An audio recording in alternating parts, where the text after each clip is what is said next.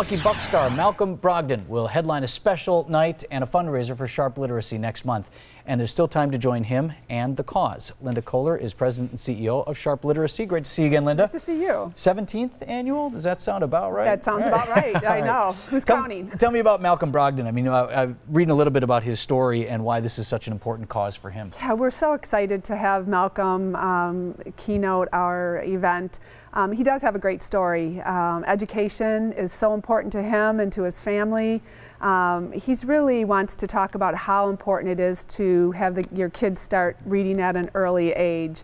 And it's really all about um, I can and I will. So if mm -hmm. you mm-hmm. have the, the uh, the will to, you'll be able to do that. Um, he's going to talk about, you know, he grew up in a, you know, where education was very important to him, and not all of our kids have that same right. opportunity. So he's kind of looking at this as kind of a mentorship, and really to talk about um, how important reading is uh, at any level. You know, you had Randall Cobb last year and kind of the same thing. I mean, I think it's so important given the constituencies that, that are really important to your organization that you address for them to hear from pro athletes that, yeah, I'm a pro athlete, but also like reading is really important. You should do this. Right, whether you're a pro athlete right. or you're a, you know, uh, first grader. Mm -hmm. It mm-hmm. doesn't matter. You have to learn how to read to do anything else in life. So, in addition to his keynote, uh, what else happens at the event? I mean, it's several hours long. It's a really yeah, special it's, evening. It's four to seven. Um, we're at Discovery World this year, their new pavilion, which oh, we're really excited space. about yeah, it. It'll be great. Um, yeah, and we have two awards: uh, the Edge Award, which is going to um, Josh Gimbel and the Ruth and uh, Jean Posner Foundation. He's done so much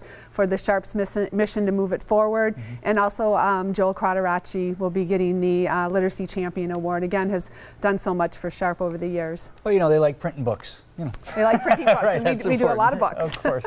Uh, talk a little bit about the, the mission for Sharp overall. Uh, what what your priorities are right now in our area? Sure. Um, our program is a uh, we integrate the arts um, mm -hmm. into the program, um, and we serve over 8,600 students last year, and um, this year the same amount. So it's really energizing urban school children to become confident, capable readers, writers, and researchers through the arts and um, hands-on interaction. You know, the 1st step always, I didn't mean to interrupt you, but it's always be because your programs are fun and they're interesting. I mean, that's how you it's, bring them it's in. It's experiential right. learning. We're giving kids experiences that they normally wouldn't have.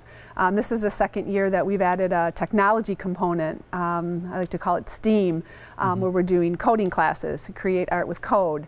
Um, so our fourth grade students in select schools are learning all about coding um, and, and to learn some, such a foundational literacy skill mm -hmm. at mm-hmm. such an early age. That's literacy as well, yes. It is. It. Yep. it's an important language. All right, and tickets still available, yes? Tickets are, they're going fast. Uh, we still have a limited amount available.